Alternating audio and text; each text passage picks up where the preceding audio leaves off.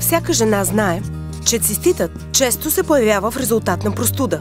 Простудата ни дебне във всеки сезон. Още в първите топли пролетни дни бързо захвърляме зимните си дрехи. В горещите дни прекарваме часове на плажа или край басейна с мокър бански. В хладната есен често подценяваме дъжда и мокрите си крака. А зимата, дори когато газим в дълбоките преспи, искаме да сме красиви и секси. Така неусетно сами попадаме в плен на цистита. Ако усещаш парене и често уринираш, вземи веднага уринал акут. Всеки знае, уринал помага.